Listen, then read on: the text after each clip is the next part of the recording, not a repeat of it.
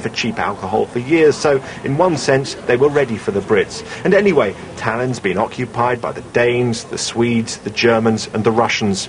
After that, a man in an Elvis suit probably doesn't seem all that threatening.